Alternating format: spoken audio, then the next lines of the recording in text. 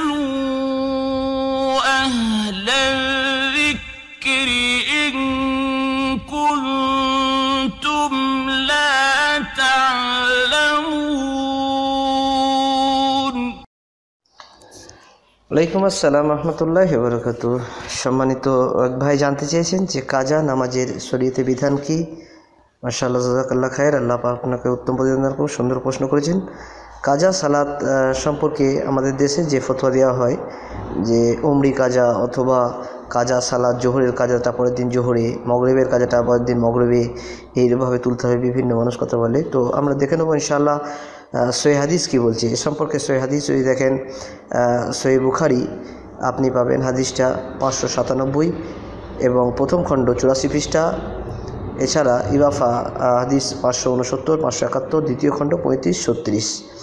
সালাতের ওয়াক্ত সমূহ অধ্যায় পাবেন। যে ব্যক্তি সালাত ভুল করে অনুচ্ছেদ সাঁত্রিশ অনুচ্ছেদ সই মুসলিমে পাবেন হাদিসটা এক হাজার পাঁচশো বিরানব্বই, এক হাজার পাঁচশো আটানব্বই, এক হাজার ছশো।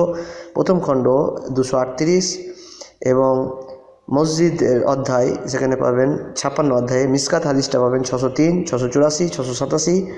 দেরিতে আজান এই অনুচ্ছেদে পাবেন বঙ্গানুবাদ মিসকাত বাংলায় যেটা করা হয়েছে ছশো চৌত্রিশ, দ্বিতীয় খণ্ড দুশো দশ পৃষ্ঠা।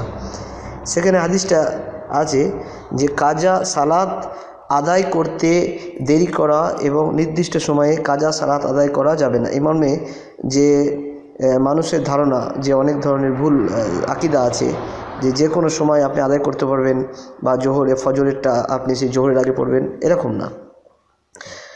এ সম্পর্কে রসুল্লাহ সাল্লাহ সাল্লাম বলছেন, আবু হুরাই রাজিয়াল্লাহ তালানু হাদিস বর্ণনা করছেন যে রসুল্লাহ সাল্লাহ আলি সাল্লাম বলেছেন, তোমাদের মধ্যে যদি কেউ সূর্য ডুবার পূর্বে আসরের সালাত এক রিকাত পড়তে পারে, সে যেন তার জন্য সালাদ পূর্ণ করে নেয়। অর্থাৎ যদি আসরের সালাদ মগরেব হয়ে যাওয়া সম্ভব না আছে, যদি এক রিকাতের সময় পান আপনি, তাহলে সে যেন সালাদটা পূর্ণ করে নেয়।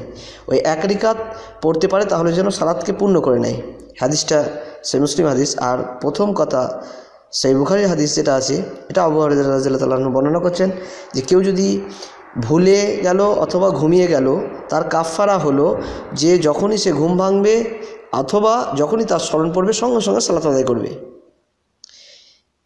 প্রথম কথা হলো, আপনি ঘুমিয়ে গেছেন, ঘুম থেকে যখনই ঘুম ভাঙবে, তখনই আপনাকে সালাত আদায় করতে হবে। যার যদি আপনি এনসা, অর্থাৎ আপনি ভুলে গেছেন, তখনই, যখনই স্মরণ হওয়া সত্ত্বেও আপনাকে সালাত আদায় করে নিতে হবে।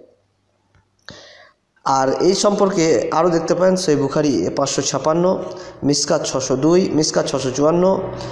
এছাড়া দেখতে পাবেন সই বুখারি পাঁচশো ছিয়ানব্বই, পাঁচশো আটানব্বই। সালাতের অধ্যায় পাবেন সই মুসলিম সালাতের অধ্যায়, বুক অফ আজান, বুক অফ সালাহ, ইংলিশে আছে সেটাও দেখতে পারেন, অথবা বাংলা যেটা আছে সই বুখারি সেখানে দেখতে পারেন, সই মুসলিম দেখতে পারেন এক হাজার চারশো বাষট্টি, প্রথম খণ্ড দুশো সাতাশ মসজিদ সম অধ্যায় অনু সাত সাঁত্রিশ অনুচ্ছেদে পাবেন। আরও পাবেন নাসায়ের হাদিস ছশো একষট্টি, ছশো বাষট্টি। অর্থাৎ কাজা সালাতের এক কথায় বিধান হলো, যদি কোনো মানুষ অজ্ঞান হয়ে গেল, তার জ্ঞান যে ফিরল, তারপরে সে সালাত আদায় করবে। যদি অজ্ঞান হয়ে যায়, সেটা আলাদা কথা। তার সেই অবস্থা, সালাত মাপ কিন্তু আপনি ঘুমিয়ে গেছেন, অথবা আপনি ভুলে গেছেন, যখনই আপনার ঘুম ভাঙবে, তখনই আদায় করে নেবেন। আর যখনই আপনি যখনই ঘুম ভাঙবে তখন আর যখন আপনি ভুলে গেছেন, যখনই আপনার মনে পড়বে যে আমার আপনি রাস্তায় যেতে যেতে খেয়াল ছিল না, আপনার আসরের সালাদ কাজা হয়ে গেছে। আপনার যখনই স্মরণ হলো, তখনই আপনি রাস্তাতেই আপনি দাঁড়িয়ে যে অবস্থায় আছেন, সেই অবস্থায় তখনই আপনি সালাদ আদায় করবেন। এটাই হচ্ছে কাজা নামাজের বিধিবিধান।